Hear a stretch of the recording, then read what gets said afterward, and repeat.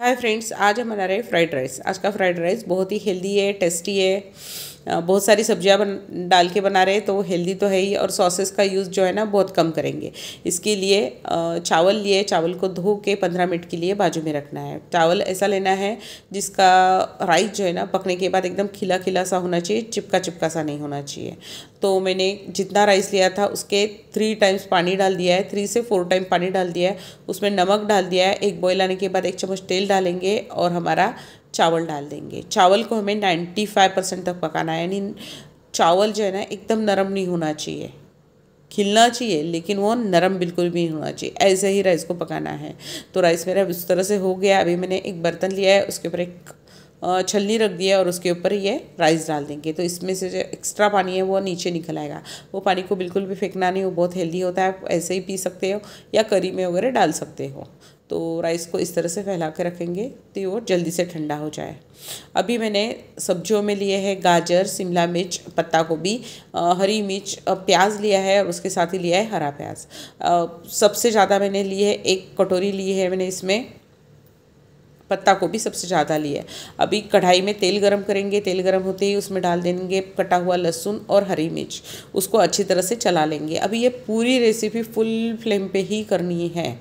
तो क्या होती है, सब्ज़ियाँ पक जाती है, लेकिन उसका क्रंच नहीं जाता है। उसके बाद मैंने डाल दिया है मैंने प्याज प्याज को भी अच्छी तरह से चला लेंगे। अभी सब गैस की पावर फुल है, इसके लिए उसको कंटिन्यूसली चलाते रहना है। गैस सोते हमारा प्याज सोते होते ही उसमें डाल देना है मुझे गाजर। गाजर जो है, मैंने लाल गाजर नहीं लिया है, जो केशरी कलर का गाजर आता है, वही लिया है। वो कड़क होता है, जल्दी से गलता नहीं है तो और वो बाकी सब्जियों से पहले इसके लिए डाला कि वो कड़क होता है तो पकने में थोड़ा सा क्रंच उसका आने में उसमें टाइम लगता है। इसके लिए क्या फुल गैस पे उसको एक आधा मिनट तक उसको सौते कर लेंगे, उसके बाद डाल देंगे हम लोग शिमला मिर्च। अभी शिमला मिर्च दो चम्मच लिए है और गाजर जो लिया है वो चार चम्मच लिया है। अभी इस दोनों को भी अच्छी तरह से सौते कर लेना है। ये सौते होने के बाद मैंने डाल दिए है, इसमें डालनी है मुझे पत्ता गोभी, जो मैंने एकदम बारीक कट कर लिए है। और ध्यान रखिएगा, पत्ता गोभी बहुत जल्दी पकती है और मैंने ये एक कटोरी से भी ज़्यादा पत्ता गोभी का यूज़ किया है। थोड़ा सा उसमें डाल दिया है मैंने हरा प्याज हरे प्याज का हरा हिस्सा। इसको भी फुल गैस पे हमें सोते कर लेना है। इसके साथ ही मुझे कद्दूकस किया हुआ मैंने डाल दिया है। इसमें थोड़ा सा अदरक डाल दिया है। सब्जियों के हिसाब से मैंने नमक डाल दिया है और आधा चम्मच मैंने कुटी हुई काली मिर्च डाल दी है फ्रेशली।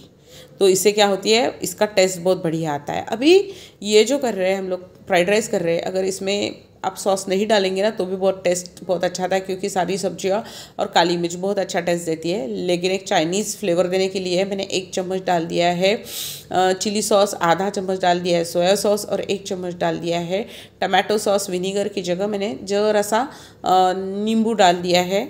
या टोटली आप अवॉइड भी कर सकते हो। उसके बाद पका हुआ राइस डालना है और अच्छी तरह से मिक्स कर लेना है कि सारे फ्लेवर जो है ना, वो हमारे राइस के साथ कंबाइन हो जाए। तो देखो, इस तरह से हमें उसको मिक्स कर लेना है, एक से दो मिनट तक, और उसके बाद उसमें गैस बंद करके उसमें डाल देना है मुझे हरा प्याज और धनिया। धनिया है तो डालो, नहीं डालेंगे तो भी चलेगा। हरा प्याज का हरा हिस्सा डाल दो कि आपका फ्राइड राइस तैयार है ना हेल्दी और टेस्टी और बहुत जल्दी बनने वाला फ्राइड राइस रेसिपी देखने के लिए बहुत बहुत धन्यवाद। Thank you.